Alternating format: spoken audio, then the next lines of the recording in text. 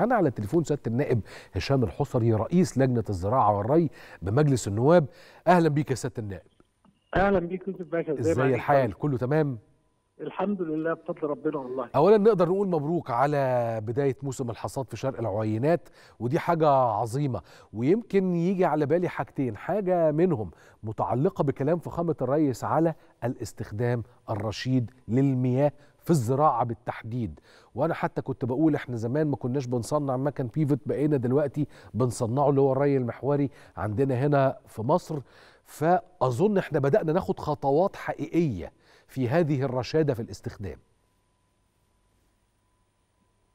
لا ألو؟ أيوه. مع, سيادتك. معاك. كنت بتكلم على مسألة اتخاذنا للعديد من الخطوات في ترشيد استخدام المياه في الزراعة تحديدا سواء إذا كان في معالجة المياه الاستخدام أكتر من مرة أو استخدام أساليب شديدة الحداثة في الري. عايزين نعرف أكتر عن ده ومستقبل كمان هذه المناطق زراعيا في إنتاج المزيد من حصلات القمح أو محاصيل أخرى. أنا بداية بس بشكر حضرتك وفي نفس الوقت بقول لحضرتك إن النهارده كان يوم عيد من الاعياد اللي بيحتفل بها المصريين وهي بداية موسم حصاد القمح. الحقيقة النهارده السيد الرئيس افتتح مجموعة من التوسعات الزراعية اللي تمت في توشكا وفي الفرافرة وفي عين دله وفي شرق العوينات وفي مشروع مستقبل مصر وفي وادي الشيح. هذه المساحات الحقيقة اللي بلغ اجماليها حوالي 674 ألف فدان تم زراعتها بمحصول القمح الزراعات بتتم بطرق الري الحديثة عن طريق الري المحوري اللي هي استخدام البيوتات مصدر المياه طبعا في أغلب هذه الاراضي هي المياه الجوفية. والحقيقة المياه الجوفية النهارده يعني في ظل التوسعات اللي بتتم في الأراضي الصحراوية بداية بيتم دراسة البير اللي بتتاخد منه المية وبيتشاف إن هو إذا كان بير متجدد ولا لأ المخزون الجوفي قد إيه بحيث يبقى في تنمية مستدامة. أنا النهارده لما بستصلح أرض المفترض إن الأرض دي تتزرع لفترات طويلة. وبالتالي بيتعمل دراسات لهذه الآبار وإذا كانت متجددة ولا لأ المخزون الجوفي اللي موجود يكفي لسنوات عديدة ولا لأ.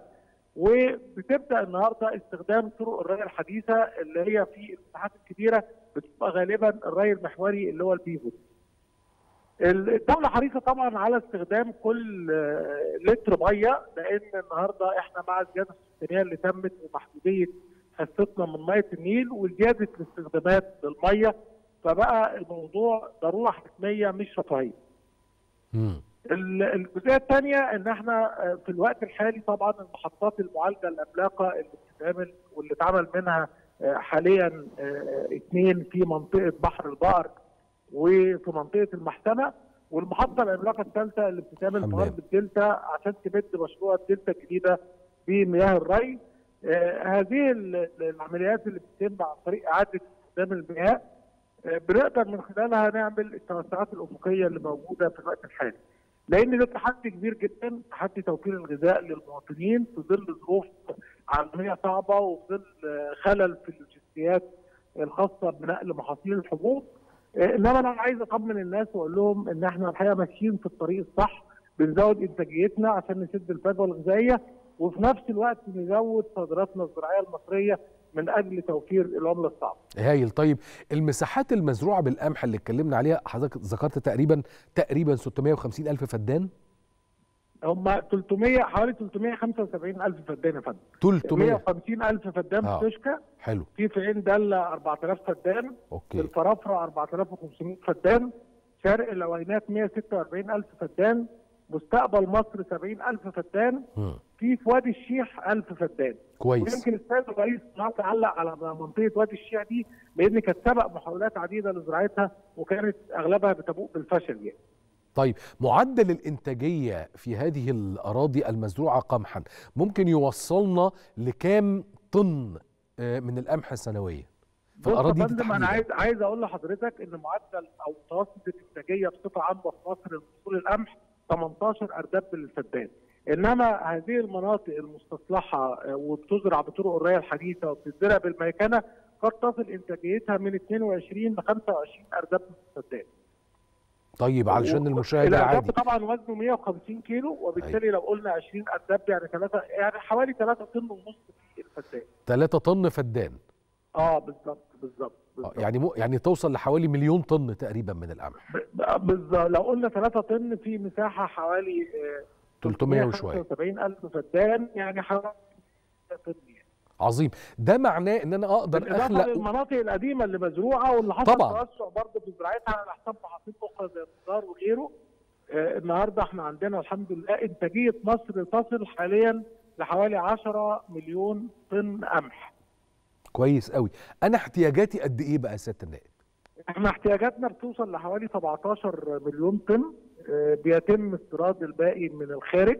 إحنا انتاجيتنا يعني آه، التطور اللي حصل في الإنتاجية أيوة. ده حاجة كويسة جدا إن إحنا نوصل ل 10 مليون طن إنتاجية ومن حوالي آه، 3 مليون و 300 ألف فدان تقريبا بيتم زراعتهم آه، آه، آه، ال- ال- ال- المستهدف توريده لشركات المطاحن السنة دي حوالي يعني 4 مليون طن تقريبا أو 4 وشوية يعني. كويس قوي. معلش أنا هأثقل عليك كمان. أنا كنت في قلب أربع سنة 2014 بقدر أنتج كام مليون طن؟ لا لا ودلوقتي ما كانش؟ الرقم ده موجود خالص. أنت يعني بعيد. حضرتك إنتاجيتك ما كانتش يعني كانت معدلها يعني حوالي 7 مليون طن 7.5 مليون طن. أنت زدت حوالي آه، 3 مليون طن في الفترة الأخيرة يعني. الله أكبر. وده يقلل من الضغط على العملة الصعبة المتعلقة يعني باستيراد مع الأسعار الجديدة اللي اعلنتها الدولة ال- ال- الارداب رفع من 850 جنيه السنة اللي فاتت ل 1500 جنيه فده بقى حافز عند المزارع لأن بدأ يبقى في مردود اقتصادي على زراعة المحاصيل اللي زي ال- القمح في الأساس ومحصول الذرة أيضا ومحصول فول الصويا هذه المحاصيل حصل زيادة عالمية كبيرة في أسعارها نتيجة الحرب الروسية الأوكرانية ونتيجة الخلل اللوجستي اللي موجود في عمليات النقل في الوقت الحالي يعني. عظيم جدا. يا رب يوفق. وألف شكر سيادة النائب نورتنا. كل الشكر سيادة النائب هشام الحصري رئيس لجنة الزراعة والري بمجلس النواب.